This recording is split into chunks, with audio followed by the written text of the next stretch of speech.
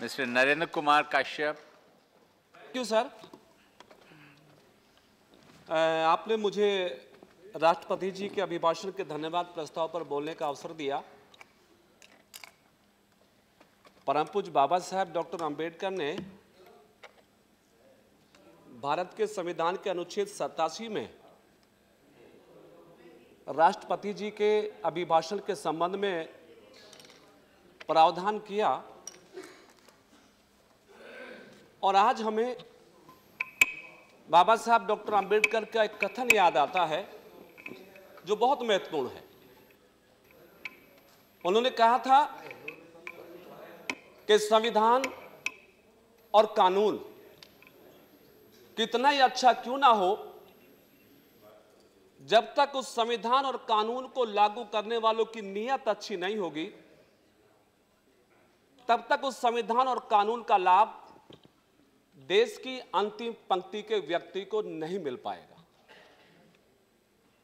महोदय, उनहत्तर वर्षों की आज़ादी के अंतराल में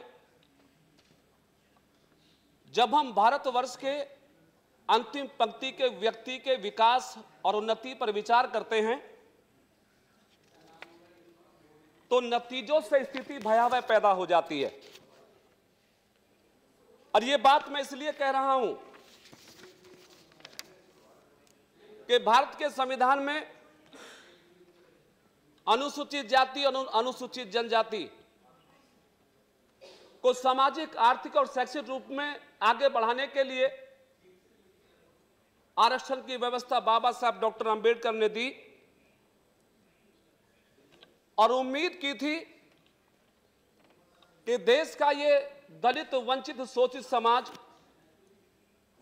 रिजर्वेशन के आधार पर समाज की मुख्य धारा से जुड़ेगा। वर्तमान सरकार में माँ महिम राष्ट्रपति जी महोदय के अभिभाषण में इस बात की चर्चा की गई है कि सरकार इस बार बाबा साहब डॉक्टर अंबेडकर की 125वीं जयंती संविधान दिवस के रूप में मनाएगी। आप डॉक्टर अंबेडकर साहब की 125वीं जयंती संविधान दिवस के रूप में मनाते हैं, मनाइए। लेकिन उस संविधान का जो मूल तत्व है, जो मूल आधार है, उस पर सरकार का क्या नज़रिया होना चाहिए? कम से कम इसको भी तो स्पष्ट करिए। महोदय, आज भारत का दलित और भारत का आदिवासी भयभीत है, आतंकित है। उसमें असुरक्षा की भावना पैदा हो गई है। बाद में टॉपिक है मेरे पास। असुरक्षा की भावना पैदा हो गई है। किस बात की असुरक्षा? एजुकेशन प्रॉपर नहीं मिल रही है, उसको असुरक्षा है। एम्प्लॉयमेंट में बराबर उनको अपॉर्चुनिटी नहीं मिल रही है, उसकी भी असुरक्षा है। और सबसे बड़ी असुरक्षा है महोदय कि आज आज उनके साथ कातलाना हमले हो रहे हैं। उनकी हत्या हो रही है। पिछले सप्ताह में लगातार यह मुद्दा उठा। हमारी पार्टी की नेता आदरणीय बहन कुमारी मायावती जी ने बहुत वेदनाओं के साथ, बहुत तकलीफ़ के साथ सदन के समक्ष हैदराबाद केंद्रीय विश्वविद्यालय के पीएचडी के छात्र, रोहित की आत्महत्या का मामला उठाया। क्या मांग की थी हमारी नेता ने?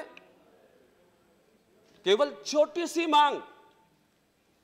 उन्होंने कहा था कि इस न्यायिक जाँच आयोग में एक अनुसूचित जाति का सदस्य भी शामिल कर लो। सबका साथ, सबका विकास। नारा सुनने में, कहने में बहुत अच्छा लगता है। सत्ताधारी पार्टी के लोग ये नारा लगा के अपनी फीट, पीठ थपथपा सकते हैं, थपथपा लो। जब अनुसूचित जाति का व्यक्ति न्यायिक आयोग में सदस्य बनाने की मांग उठती है तो सरकार के कान पे जू नहीं रेंगती। उत्तर नहीं दिया गया। सदन को गुमराह करने की कोशिश की गई, महोदय। कैसे, देश कैसे करेगा भरोसा? सबका साथ, सबके विकास के नारे पर, महोदय, देश कैसे भरोसा करेगा? साढ़े पंद्रह परसेंट शेड्यूल कास्ट भारतवर्ष में है, उन पे अत्याचार हो रहा है, उनकी हत्या हो रही है, वो आत्महत्या कर रहे हैं। और सरकार उनके नुमाइंदों को, उन जाँच एजेंसी में शामिल करने के लिए आज तक तैयार नहीं है। यह घटना एक नहीं है, महोदय। छह लोग, छह व्यक्तियों को हैदराबाद की घटना में नाम दर्ज किया गया। उनके खिलाफ एफआईआर हुई। 40 दिन का समय गुजरा है। एक भी व्यक्ति गिरफ़्तार नहीं हुआ, महोदय। कैसे होगी दलितों की सुरक्षा? कैसे होगा सबका साथ, सबका विकास? आज भी हमें कष्ट के साथ कहना पड़ता पंजाब के अबोर में जो कुछ हुआ। महोदय, अबोर पंजाब के अंदर एक दलित को हाथ पैर काट के उसकी हत्या की गई है। निर्मम हत्या की गई। सरकार हाथ पे हाथ रख के बैठी है। सरकार के पास इन गंभीर घटनाओं पर नोटिस लेने का समय नहीं है। सरकार की तरफ़ से लंबे लंबे बयान आते हैं लंबी लंबी बातें होती हैं कि हाँ, हम इस वर्गों की सुरक्षा करेंगे, हम सेफ्टी की बात करेंगे। और महोदय, मेरे पास भारतवर्ष में अनुसूचित जाति अनुसूचित जाति के लोगों पर आपराधिक घटनाओं के सारे आंकड़े मैं आपके बीच में रख सकता हूँ। और सदन और देश इस बात को समझ जाएगा कि आखिर उनहत्तर वर्षों की आज़ादी में आज भी दलित और आदिवासी भारत के अंदर अपने आप को असुरक्षित महसूस कर रहे हैं। महोदय रिजर्वेशन किसी एक सियासी पार्टी का दिया हुआ यह अधिकार नहीं है। अगर भारत के संविधान में अनुसूचित जाति, अनुसूचित जनजाति को आरक्षण का अधिकार मिला है तो इसका एकमात्र श्रेय परम पूज्य बाबा साहब डॉक्टर अंबेडकर को जाता है। उन्होंने दिया था यह अधिकार। इसका पालन नहीं हो रहा है। इस अधिकार की पूर्ति नहीं हो रही है। बहुत सारे विभाग, केंद्रीय विभाग बहुत सारे ऐसे हैं जहाँ आज भी कोटा पूरा नहीं है। वर्तमान सरकार ने बहुत सारे विभागों को प्राइवेट सेक्टर में देने की बात की है, आरक्षण की व्यवस्था को रिव्यू करने की बात की है। कभी संविधान की समीक्षा का मामला उठता है सरकार को अपनी स्थिति स्पष्ट करनी चाहिए कि अगर वो बाबा साहब डॉक्टर अंबेडकर की 125वीं जयंती मनाना चाहते हैं तो फिर संविधान की समीक्षा किस लिए कर रहे हैं? फिर आरक्षण की समीक्षा क्यों करते हैं? फिर आरएसएस के लोग इस आरक्षण की व्यवस्था पर सवाल क्यों उठाते हैं? दोहरा चरित्र और दोहरी बात शायद अब देश इस पर बहुत भरोसा ना करे, इसलिए इन मुद्दों पर भी, इसलिए इन बातों पर भी राष्ट्रपति जी के अभिभाषण में कुछ ना कुछ अंकित होना चाहिए था। उपसभापति महोदय, तत्कालीन सरकार में भी और वर्तमान सरकार में भी। हमारी पार्टी के नेता, आदरणीय बहन कुमारी मायावती जी ने दलितों के प्रमोशन में रिजर्वेशन का मुद्दा उठाया। तत्कालीन सरकार में राज्यसभा में वो बिल पास हुआ। संविधान संशोधन का मामला था। लोकसभा में जाके अटक गया। एनडीए की सरकार बनने के बाद भी अनेकों बार हमारी पार्टी की ओर से यह मांग उठी कि भारतवर्ष के अंदर करोड़ों दलित समाज के ऐसे अधिकारी हैं, कर्मचारी हैं, जिनको प्रमोशन में रिजर्वेशन का हक मिलना चाहिए। अगर ये सरकार सबका साथ, सबका विकास देने का वायदा देती है तो लोकसभा में संविधान संशोधन करा के प्रमोशन में रिजर्वेशन देने का कानून बनाने में ऐतराज क्या है? महोदय, ये सारी चीज़ें, ये सारी बातें ऐसी हैं जो अभी भी सरकार और सरकार के कार्यों पर सवाल या निशान लगा रही हैं। हमें भी मौका मिला। उत्तर प्रदेश में हमारी नेता को मौका मिला चार बार उत्तर प्रदेश की मुख्यमंत्री बनने का। और हमें इस बात का गौरव है, हमें इस बात की प्रसन्नता है कि उन्होंने अपने चार साल के शासनकाल में अनुसूचित जाति की बात हो, अनुसूचित जनजाति की बात हो ओबीसी और माइनॉरिटीज की बात हो, और यहाँ तक के सामान्य जाति के जो गरीब लोग हैं, उनको भी आरक्षण देने में गुरेज नहीं किया। उनको भी विकास की गति में, आगे बढ़ाने में कोई गुरेज नहीं किया। तो आदरणीय मोदी साहब की सरकार को गुरेज क्यों है? क्यों नहीं इनके विकास की बात करते? क्यों नहीं इनके आरक्षण की बात करते? क्यों नहीं प्रमोशन में रिजर्वेशन का कानून पास करते? उपसभापति महोदय जी एक सच्चाई आपके माध्यम से संसद और देश के सामने और लाना चाहता हूँ। उन्नीस सौ तिरपन में काका कालेर का आयोग बना था। बाबा साहब डॉक्टर अंबेडकर ने भारत के संविधान के अनुच्छेद 340 में यह प्रोविज़न किया था कि जो लोग जो लोग आर्थिक और सामाजिक शैक्षिक रूप से पिछड़े हुए हैं, ऐसे लोगों को चिन्हित किया जाएगा और पिछड़े समाज की सूची बनाकर उनको भी आरक्षण देने का लाभ सरकारें दे सकेंगी। उन्नीस सौ तिरपन में काका कालेरकर आयोग बना। 1955 में रिपोर्ट आई, लेकिन आज तक उस पर कोई कार्रवाई नहीं हुई। 1978 में बीपी मंडल कमीशन बना। उन्नीस सौ उनहत्तर में रिपोर्ट सबमिट की और उन्नीस तिरानवे में सुप्रीम कोर्ट ने फैसला सुनाया कि भारतवर्ष के बावन प्रतिशत पिछड़ी जाति के लोगों में से 27 परसेंट रिजर्वेशन भारत के तमाम सूबों में मिलना चाहिए।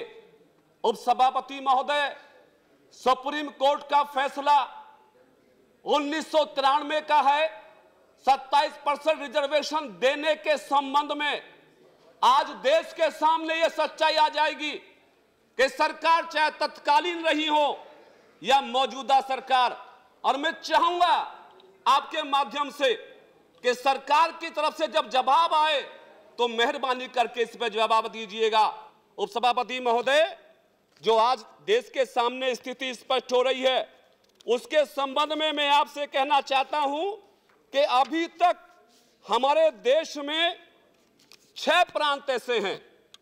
छह प्रदेश ऐसे हैं जहाँ पर बैकवर्ड कम्युनिटी के लोगों के लिए सूचीबद्ध ही नहीं किया गया है। हु इज़ बैकवर्ड पिछड़ी जाति क्या होती है? पिछड़ी जाति में कौन होगा? छह प्रांत ऐसे हैं, उसमें मेघालय भी शामिल है, अरुणाचल प्रदेश भी शामिल है, मिजोरम, त्रिपुरा शामिल है, लक्षद्वीप, नागालैंड शामिल है। उपसभापति महोदय, छह प्रांतों में आज तक 27 परसेंट ओबीसी के लोगों को रिजर्वेशन देने के लिए जातियों को चिन्हित नहीं किया गया। तेईस साल गुजर गए, छह प्रांतों में ओबीसी की सूची नहीं बनी है।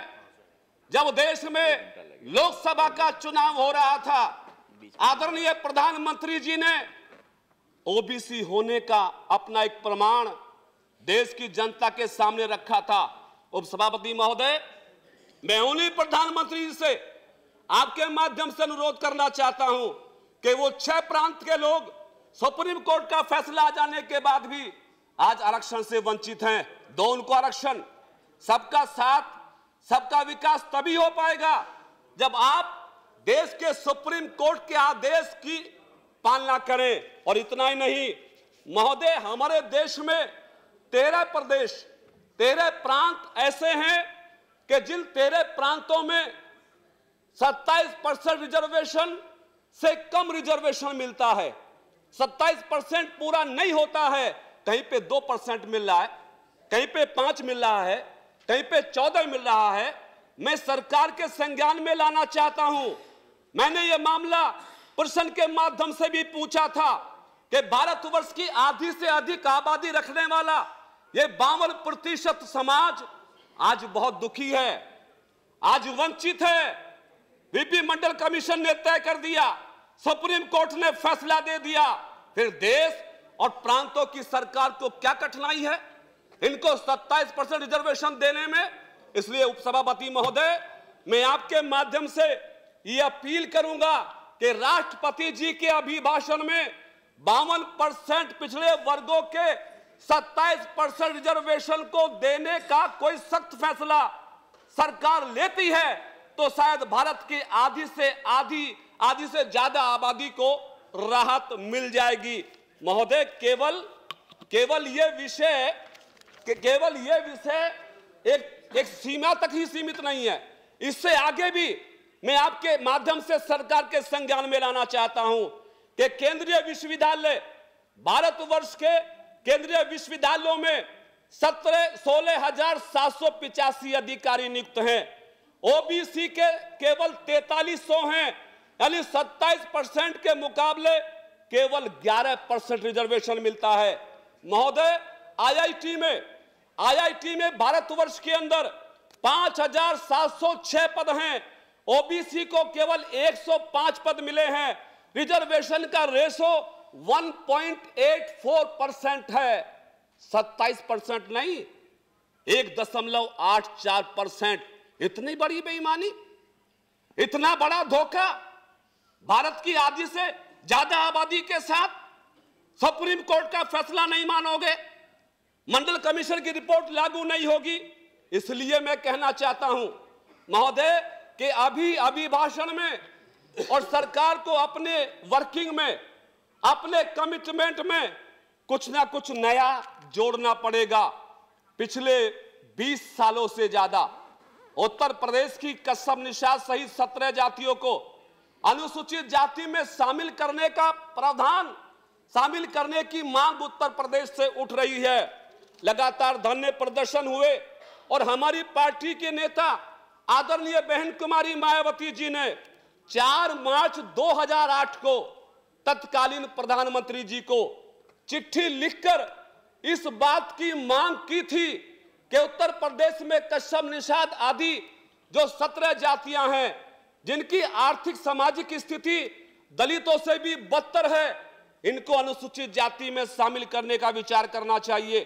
और उन्होंने इस बात का सुझाव भी दिया था कि जिस अनुपात में ये ओबीसी की जाति, अनुसूचित जाति में शामिल होंगी, उसी अनुपात में शेड्यूल कास्ट का रिजर्वेशन कोटा बढ़ना चाहिए।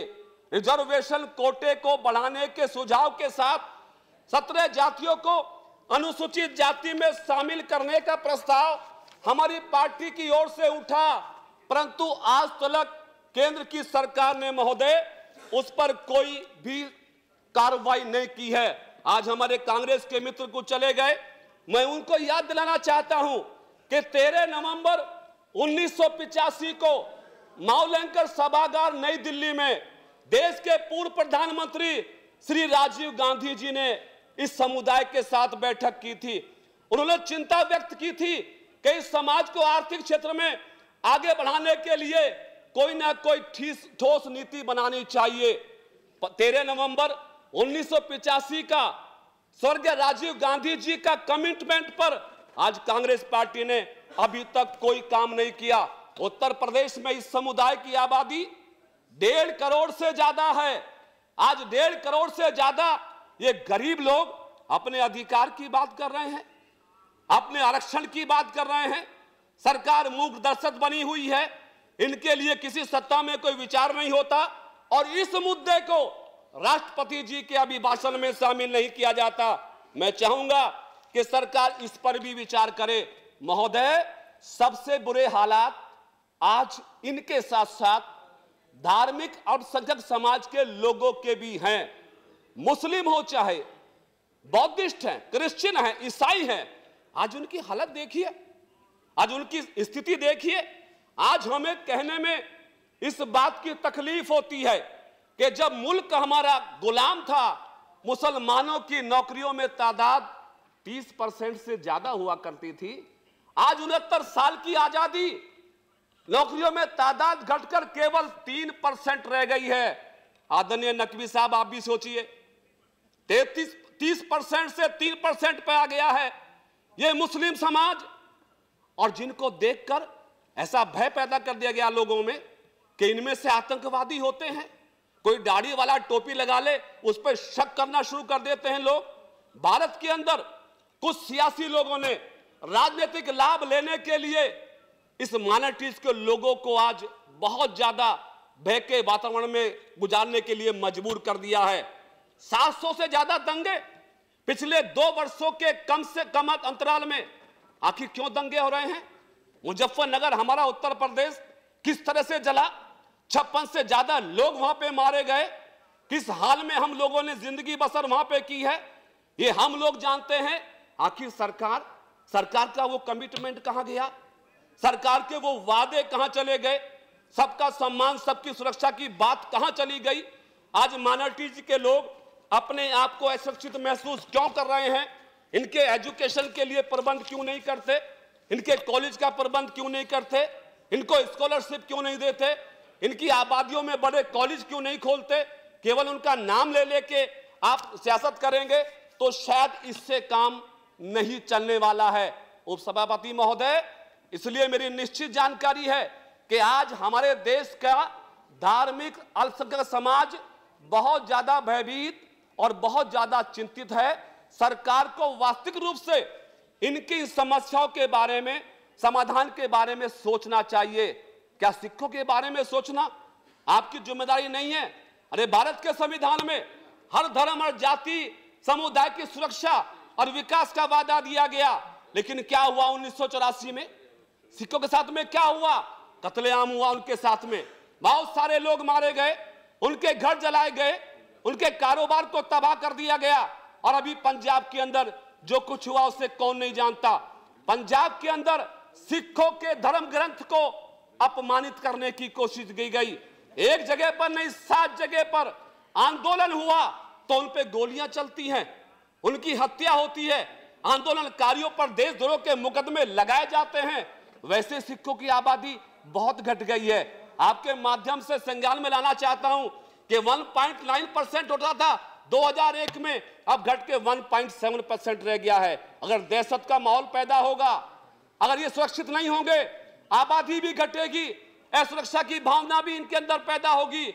इसलिए मैं चाहता हूँ कि सरकार को मुस्लिमों के बारे में सिखों के बारे में, बौद्धिस्ट के बारे में, ईसाइयों के बारे में भी बड़े दिल से फैसला लेना चाहिए।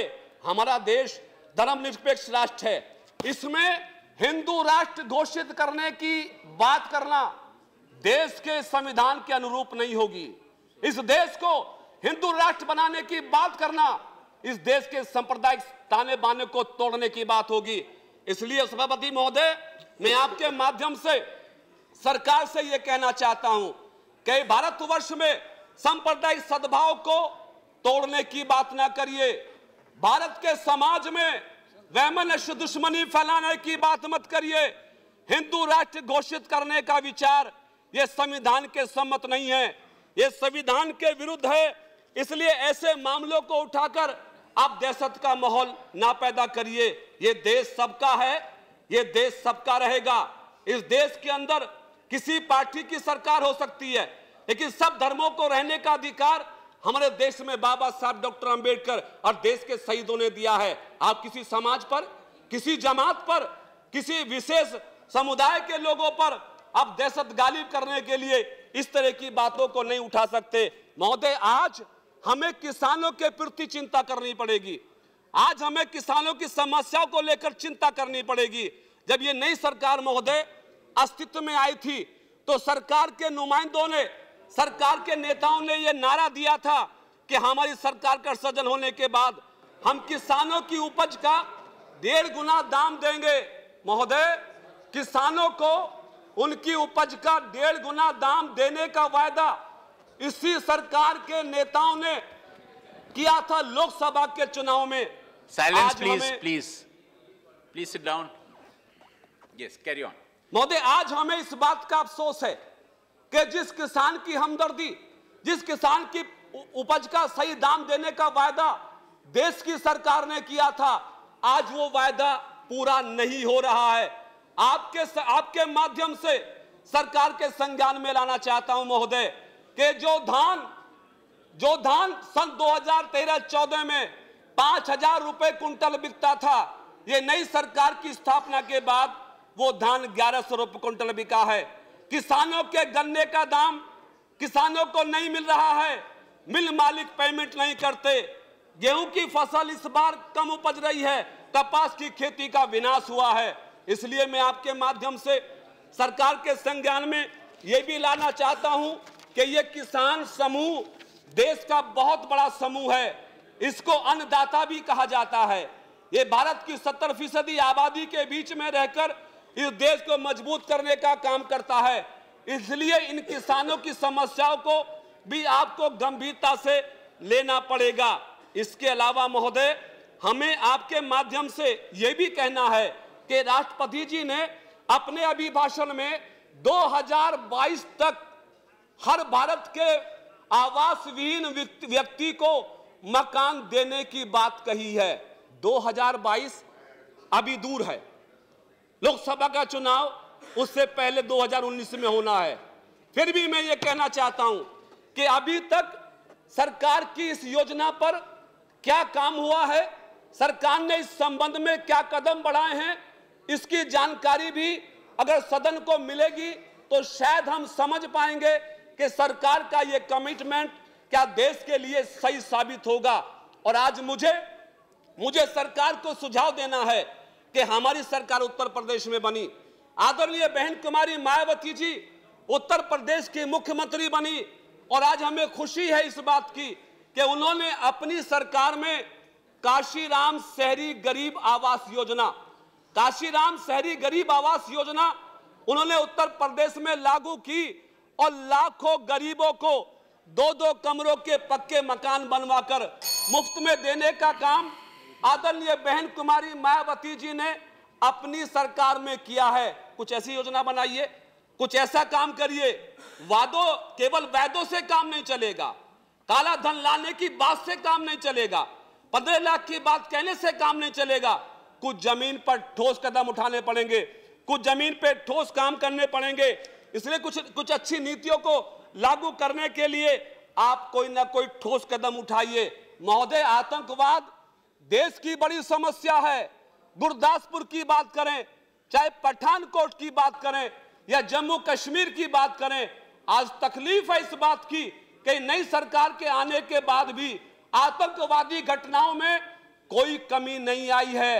आज भी हमारे देश का शहीद, आज भी हमारे देश का शहीद इस बात की शायद उम्मीद रखता होगा कि आज जो उनके बाकी शहीद जो काम करते हैं, जो जवान काम करते हैं कम से कम उन्हें इस दौर से ना गुजरना पड़े। इसलिए मैं कहूँगा कि आतंकवाद के मुद्दे पे जो सपने, जो वायदे इस नई सरकार ने किए थे, पाकिस्तान की आँखों में आँखें डालने की बात करके, आतंकवादियों को मुँह तोड़ जवाब देने की बात करके वो अपने मुद्दों पे कायम रहें। देश में असुरक्षा का भाव पैदा हो गया है, इसलिए इन बातों पे भी ध्यान देना पड़ेगा। बेरोजगारी देश की बड़ी समस्या है। पाँच पाँच करोड़ नौजवानों को रोज़गार देने का वायदा नई सरकार के मुखिया ने किया था। लेकिन आज आज हमारे देश का नौजवान उस रोज़गार को तलाश करता है नौकरियाँ तलाश करता है। वो नौजवान जिसको सपने दिखाए गए थे रोज़गार देने के संबंध में आज वो हाँ। रोज़गार रोज़गार की तलाश में है। आपका टाइम खत्म होने वाले। सर मैं खत्म कर रहा हूँ पूरा समय ही इसलिए- पूरा हो गया। इसलिए मैं मैं मैं आपके माध्यम से सरकार से ये मांग करूँगा कि जो वायदे उन्होंने देश की जनता से किए थे नौजवानों को रोज़गार देने के संबंध में अपने उस वायदे पे भी कायम हो।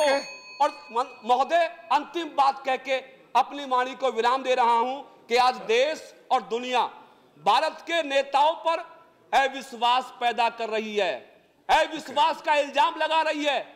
और ये अविश्वास इसलिए पैदा हो रहा है कि हमारे देश के बहुत सारे नेता वायदा बहुत करते हैं, निभाते नहीं हैं। इसलिए मैं आपके माध्यम से कहूँगा कि बेहतर लोकतंत्र के लिए, देश और दुनिया में भारत का विश्वास जगाने के लिए, भारत के 125 करोड़ लोगों में लोकतंत्र की- की बहाली के लिए मेरी अपील है कि वायदा वो करो, भाषण वो करो, जिसको निभा सको, जिसको ना निभा सको जनता के सामने कह के देश को गुमराह ना करो।